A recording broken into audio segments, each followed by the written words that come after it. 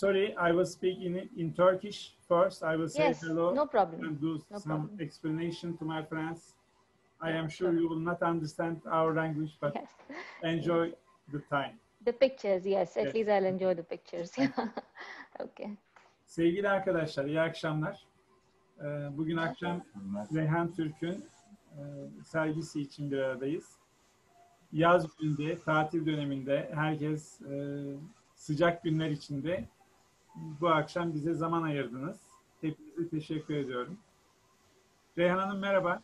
İyi akşamlar. Merhaba, iyi akşamlar. Ee, İyi akşamlar. Arkadaşlara mutlaka fotoğraf yaşantınızla ilgili ve bu Namibya sergisiyle ilgili söyleyecekleriniz vardır.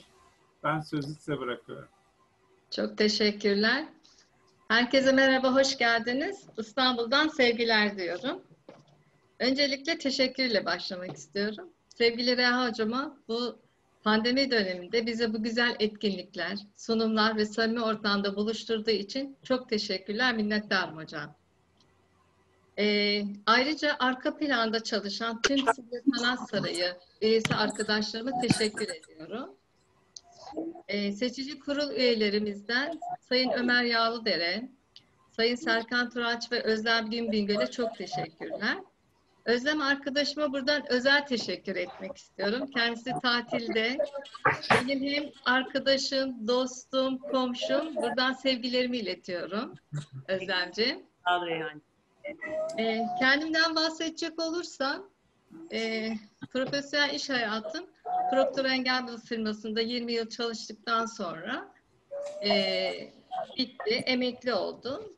Onun akabinde hemen iki yıl bir yurt dışı deneyimim oldu, yurt dışında yaşadım. Türkiye'ye döndüğümde fotoğrafa daha çok fazla zaman ayırdım. E, Fotogen ve e, Anadolu Derneği üyesiyim. Türkiye neredeyse tamamını, e, yurt dışında ise 30'dan fazla ülkeyi gezdim. İngiltere'den döndükten sonra kendi kendime sordum. Hep kendim için çabaladım, çalıştım. E, toplum için ne yapabilirsin diye. Sonra e, sosyal projelerde bulunmak istedim. Açev Anne Çocuk Eğitim Vakfı'na başvurdum. Burada kısmını aldıktan sonra yetişkinlere okuma yazma ve toplumsal farkındalık eğitimi verdim. Burada 18 ile 72 yaş arasında öğrencilerim vardı. Onlara çok şey kattığımı ve onlardan da çok şey aldığıma inanıyorum. 3 yıl sürdü ve çok keyif aldım. Ee, sonrasında e, birçok karma sergilerde, fotoğraf gösterilerinde, sunumlarında yer aldı fotoğraf adına. Ulusal ve uluslararası birçok ödüllere sahibim ve burada herkesin, e, her fotoğrafçının sahip olduğu bir AFYAP ünvanına sahibim.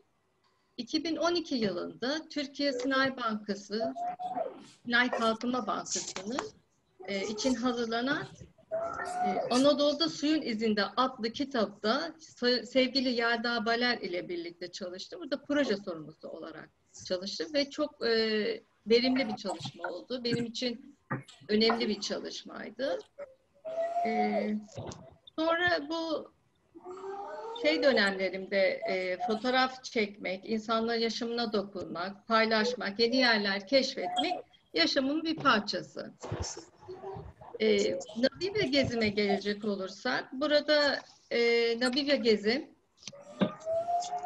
e, Güney Afrika'da yer alan Namibya çölü çok sıcak bir iklime sahip. 27 Ekim ve 6 Kasım 2019 yılları arası, 2019 tarihi arasında oradaydım.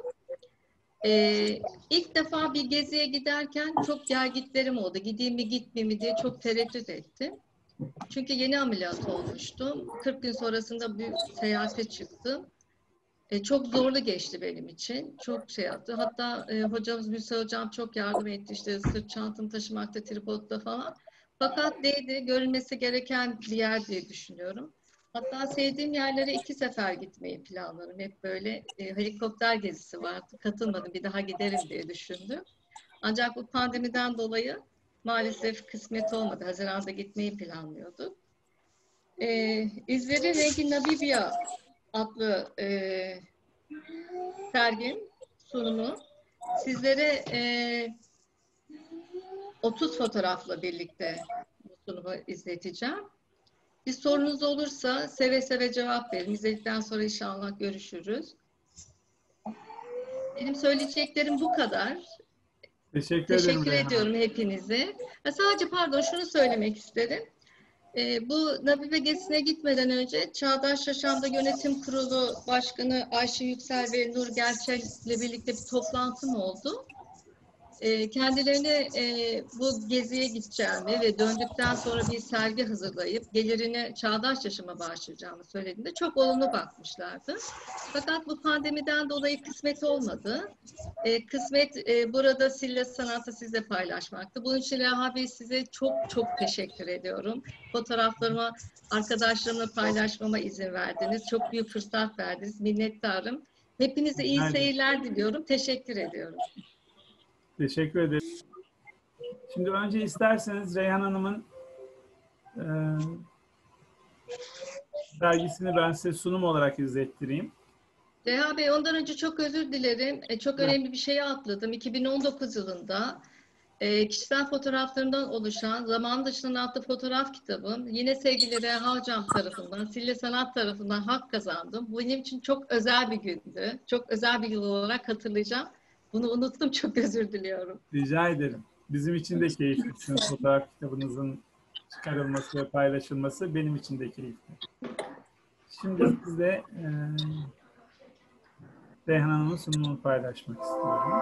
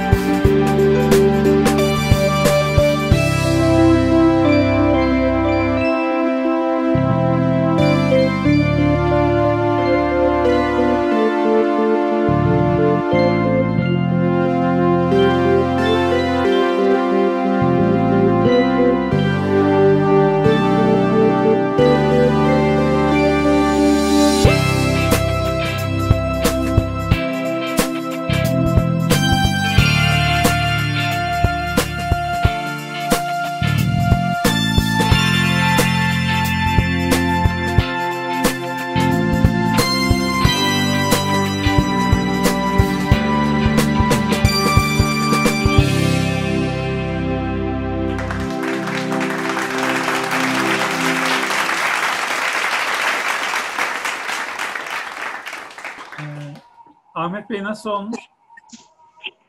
Harika olmuş, güzel. Ee, dediğim gibi Ahmet Bey'in seçimiydi bugünkü gösterimiz. Ee, Reyhan Hanım sertifikamız hazır. Pazartesi günü kargonu vereceğim. Madalyanız da aynı şekilde hazır. Madalyayı da e, pazartesi günü birlikte sertifikayla birlikte kargoya vereceğim. Çok teşekkür ediyorum. Olur. Şimdi yine her zaman olduğu gibi sanal sergi salonumuza da bir bakalım. Görünüyor mu şu anda? Evet. Görünüyor değil mi salonumuz? Görünüyor. Görünüyor. Evet. Burası yine her zamanki gibi bizim sergi salonumuz. Şuradan girişimizi yapalım.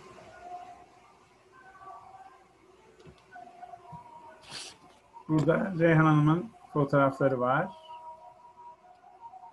Şuradan başlayalım.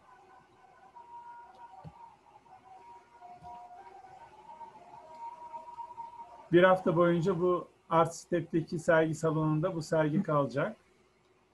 Bir hafta sonra da Yelda Hanım'ın sergi açılışında, Yelda Akıllı Göz'ün sergi açılışında birlikte olacağız.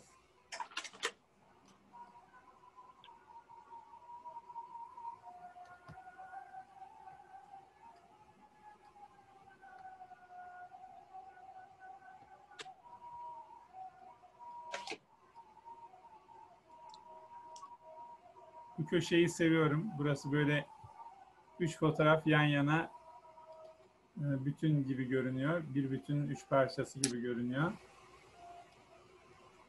Evet, burası da sergi salonumuz.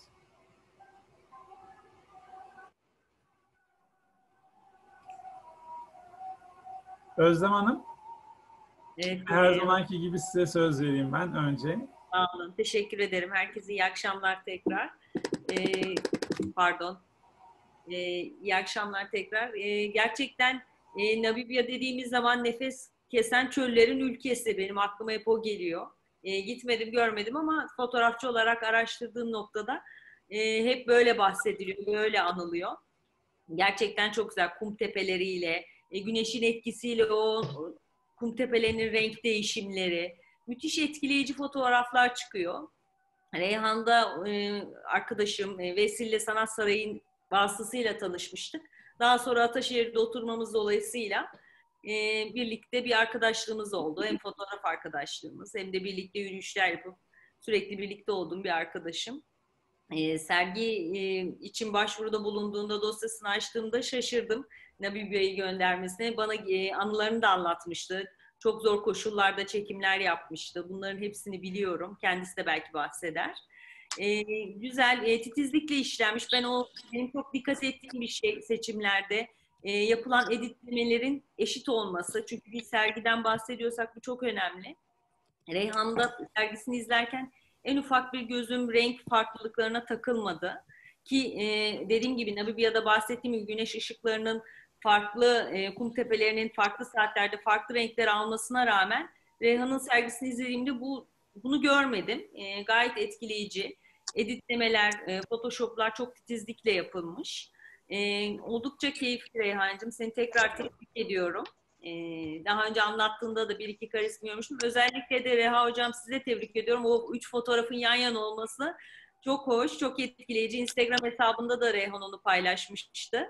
E, gayet başarılı. E, Namibya'dan tabii bizim sergimiz o, sınırlı sayıda olduğu için o kadar kımış ama son yine paylaştığı daha farklı görselleri de var. Et- Etkileyici güzel bir sergi oldu. Seni yürekten kutluyorum. Başarılarının da devamını diliyorum. Çok teşekkür ederim Ezra'cığım. Sağ ol. Teşekkürler. Rana, what do you think about the exhibition?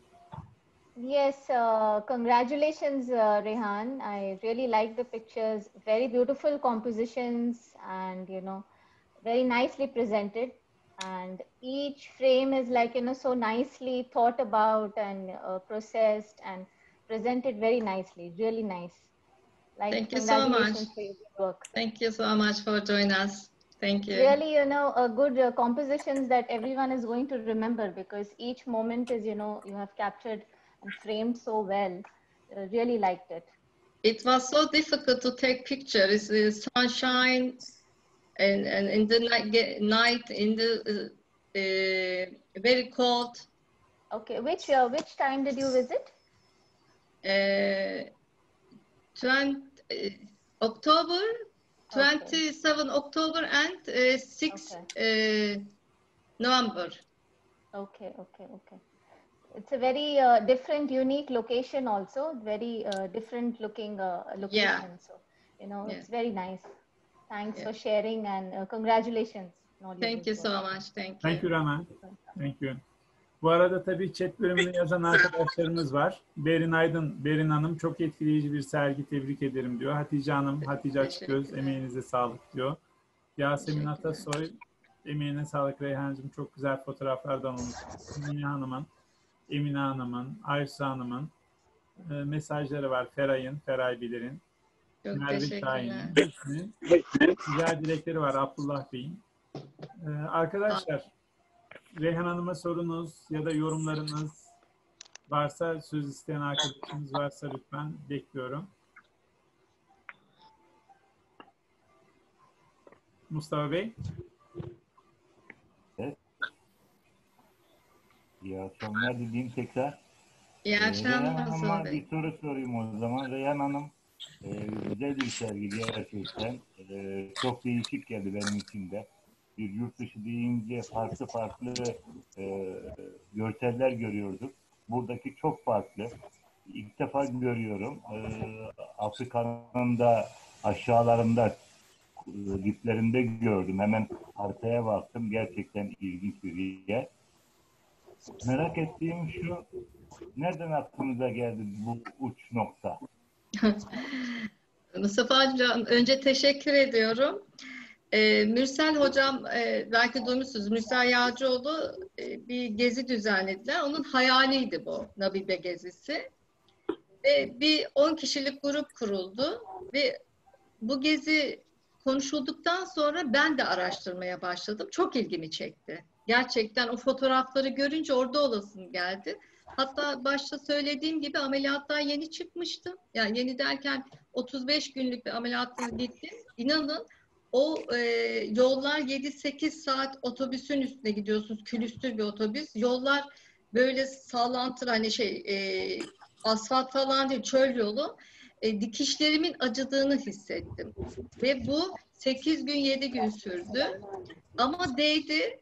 E, böylece gerçekleştirmiş olduk. Bir de şunu söyleyeyim. Ben gittiğim yerlere hep iki sefer gitmeyi, üç sefer gitmeyi çok severim.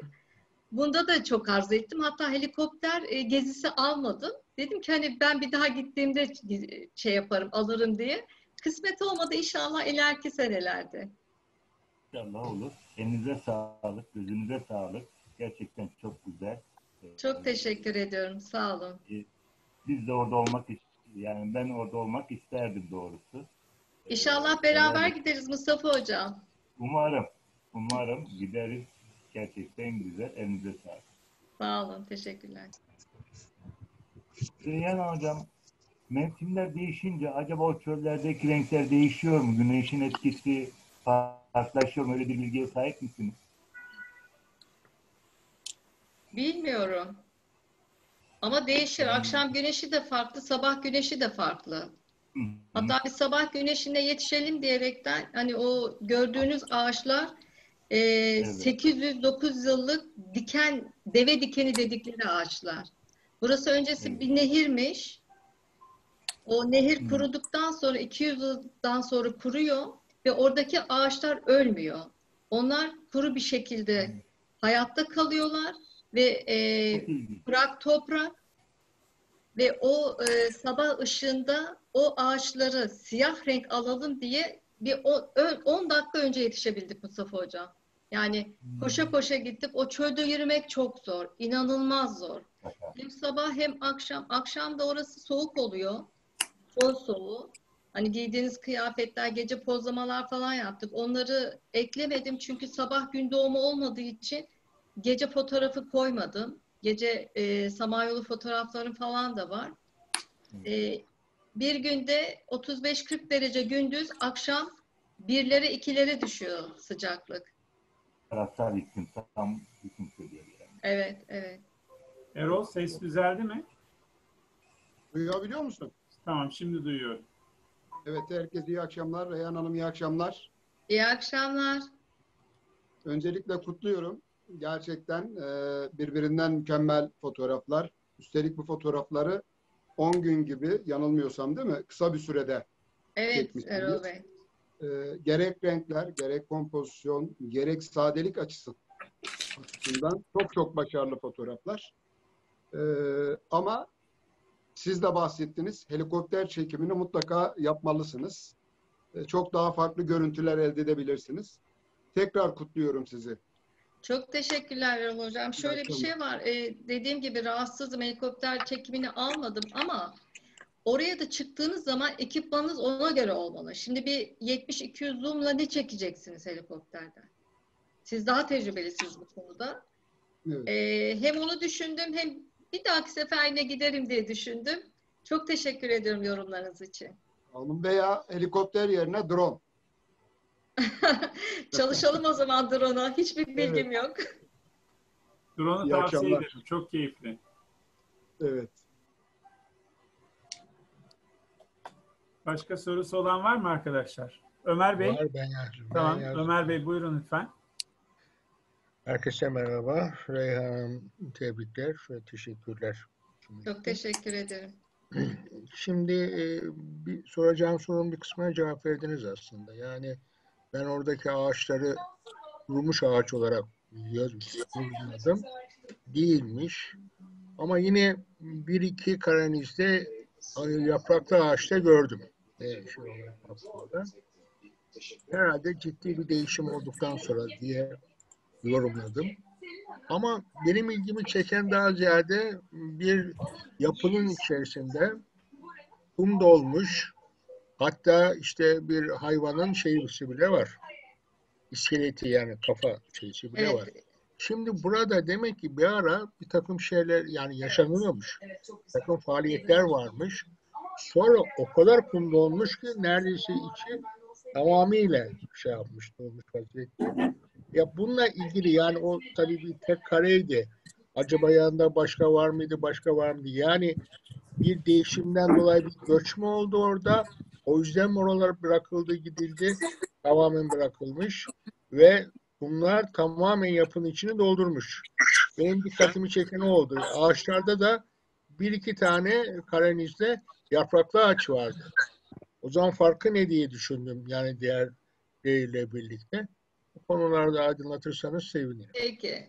Ee, öncelikle çok teşekkürler sorunuz için. Ömer Bey o gördüğünüz e, yapraklı şeyler kumların arasında çıkan, daha sonradan çıkan bitkiler.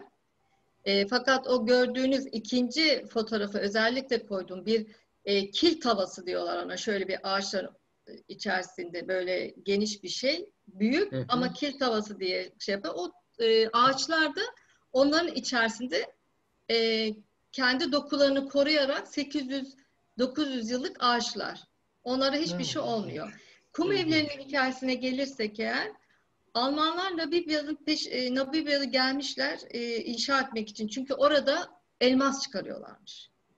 Bu evler işçilerin yaşadığı evlerdi. Böyle sıra sıra e, 10 tane, 10, 10, 30 tane evler görebiliyorsunuz çölün ortasında. Bunlara ghost town diyorlardı. Hayaletlerin izine sürmek gibi bir şey.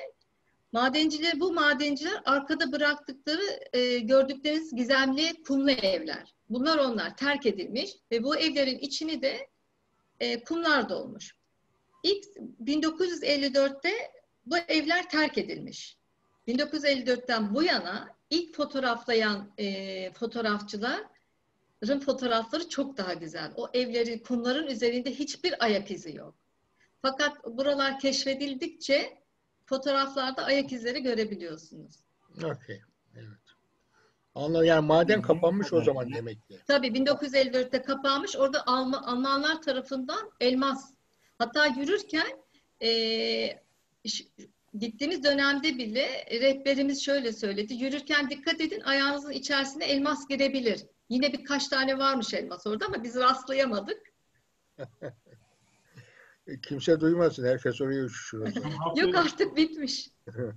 haftaya gidiyoruz. Yani bildiğim kadarıyla Almanya orada bir soykırım yapmış. 100 bin yakın e, ölüm olayı var. Bunun karşılığında da Almanya bir e, para teklif etmiş ama kabul edilmemiş. Böyle bir acı olayları da yaşanmış. 54 ama 54 demek Yani uzak bir tarih değil. Böyle bir soykırım olsa yani çok önceden herhalde oldu. 54 Ee, denildiğine göre 54 benim doğum Ya, tarihim. ya, ya, yazılar öyle anlatıyor. 54'lerde bilemiyorum yani. Yani yıl, yıl, 54 yıl olarak İkinci bir şey ifade edemem. İkinci Dünya Savaşı sonrası Almanya'nın öyle bir şeysi olabileceğini düşünmüyorum. Ama önceden olmuş olabilir belki. Bu arada Afrika denince hani yeme, içme, yatma, kalkma olayı çok şey e, zannettik biz. Hani gitmeden önce çok bilgi vermediler bize. Ee, ilkel olarak düşündük. Ancak orası küçük bir Avrupa gibi Namibya. Oteller son derece lüks. Deniz ürünleri, et ürünleri gayet güzel, gayet temiz. Giderken zaten sıtma aşımızı olduk. Ee, ilaçlarımızı aldık. O şekilde gittik keyifli ve zorlu bir geziydi benim için. Evet. Teşekkürler. Beyhan. Çok ben teşekkür ederim. Teşekkürler. Hem Ömer Bey'e hem Mustafa Bey'e teşekkür ediyorum katkılar için. Arkadaşlar bir konuyu hatırlatmak istiyorum. Sergilerimizin altına artık yorum yazabiliyorsunuz. Yorum bölümü açıldı. E, maille bildirmiştim. E, şu anda mevcut olan bütün sergiler için, web sitemizde mevcut olan bütün sergiler için yorum yazabilirsiniz. Bilginiz olsun. Başka sorusu olan var mı? Yasemin Hanım'ın bir sorusu vardı. Şurada az önce onu okuyayım size. Çekimleri anlatabilir mi diye soruyor Yasemin Hanım. Ama bu konuda biraz bilgi vermişsiniz. Belki ilave yapabilirsiniz. Çekimlerin e, sabah saati vardı. İşte e, güneş tam batmadan gidip çekmek erken sabahın dördünde kalkıyorduk. Akşamda e, 12 1'e kadar gece pozlamalar için kalıyorduk. Gece çekimleri için kalıyorduk. Ha çekim çok zordu. Çünkü çölde yürümek, sırtımızda e, nasıl bir manzarayla karşılaşacağımızı bilemediğimiz için telesi, zoom'u vesairesi sırtımızdaydı. Tripodlar elimizde ve akşam giyeceğimiz işte e, tişörtler vesaireler elimizde zor bir süreçti. Çok şükür atlattık geldik. İyiymiş. Başka sorusu başka sorusu olan var mı arkadaşlar? Sanırım yok. Zaten zamanımızda dolmak üzere son 5 dakikamız kaldı. Ben e, hepinize bu akşam zaman ayırdığınız için, Reyhan Hanım'ın sergisinde yalnız bırakmadığınız için hepinize teşekkür ediyorum. Reyhan Hanım size de renk kattınız. E, hem etkinliklerimize hem web sitemize renk kattınız. Çok başarılı bir sergi benim için de. Ben de çok beğendim. Sizi tebrik ediyorum. E, Ben de çok teşekkür ederim bu fırsatı verdiğiniz için. Tüm katılımcı arkadaşlarıma teşekkürler. Sağlıklı günler diliyorum. Evet, önce sağlık. Lütfen dikkat edin. Çok zor bir dönemden geçiyoruz. Ee, hepimize Allah kolaylık versin ama önce ilk yardımı kendimiz kendimize yapacağız. Lütfen dikkat edin. Maske, mesafe biliyorsunuz çok önemli. Ama ben de bir kez daha hatırlatmış olayım. Hepinize bir kez daha iyi akşamlar diliyorum. Haftaya İyi akşamlar akşamlar. herkese. İyi akşamlar herkese. Sağlıklı İyi akşamlar. yeniden buluşmak dileğiyle. Çok teşekkürler. Hoşça kalın. iyi İyi akşamlar. akşamlar. İyi akşamlar diliyorum. Ayfer- İyi akşamlar.